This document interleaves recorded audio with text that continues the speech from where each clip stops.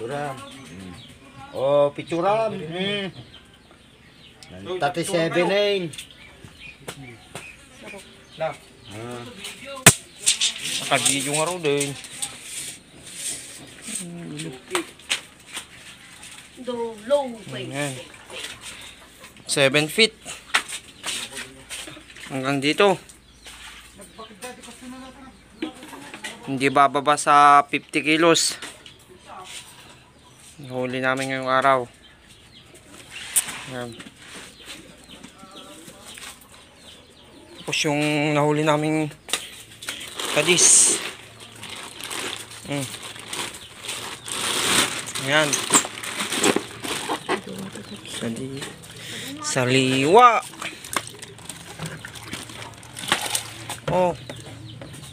Parang buhay pa. Hmm.